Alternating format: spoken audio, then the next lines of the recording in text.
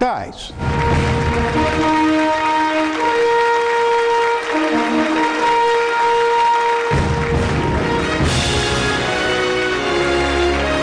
Boa noite, meu irmãozinho Christian Peterman. Boa Como é que noite. você está?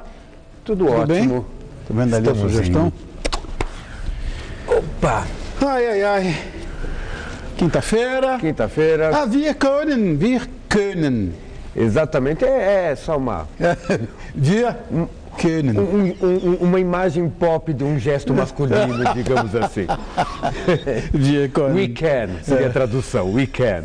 Mas Ok, ok.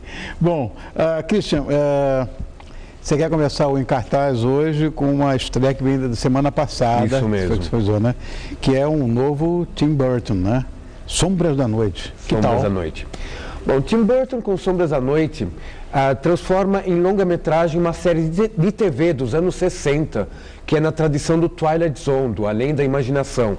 Ou seja, tramas que pe- pegam assim, põem um pezinho no fantástico, que misturam vários elementos.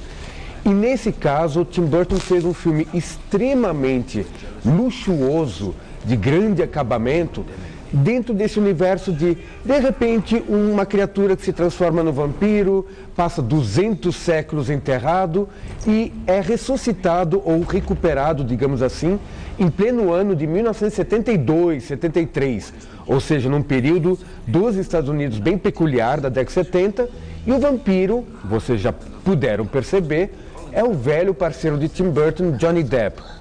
O filme tem uma direção de arte, uma apresentação visual, um acabamento muito interessantes.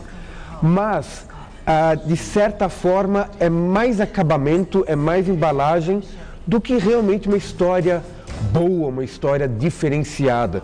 Ainda mais considerando-se Tim Burton. Johnny Depp, no caso, parece mais um morto-vivo do que vampiro. Ele está meio no piloto automático no papel. Mas, aí vemos, a grande vilã, Eva Green, está fantástica. Aí já tivemos várias tomadas dela.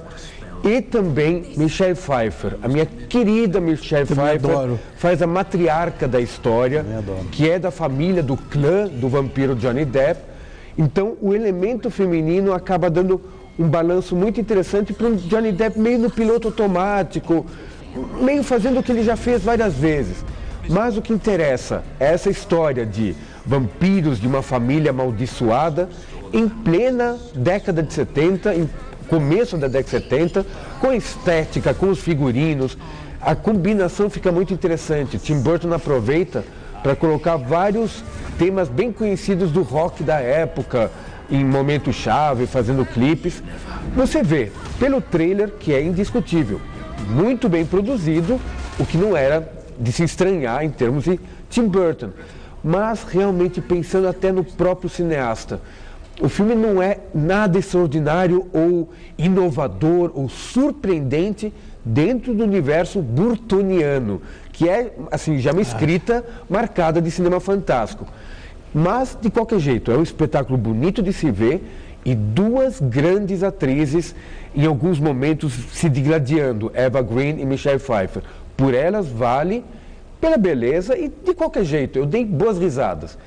Mas é um Burton mais modesto, digamos assim. Saudade do Twilight Zone, né? Pois é. Pois é. Ainda mais porque realmente a fórmula do Twilight Zone são histórias curtas. Ao se prolongar, você perde um pouquinho o fôlego. Mas tudo bem. É verdade. Volto já. Beleza. Olha, nós vamos continuar. Não é assim, então. Já tão Já, rápido. não é. Um, dois, feijão com arroz. Me espera.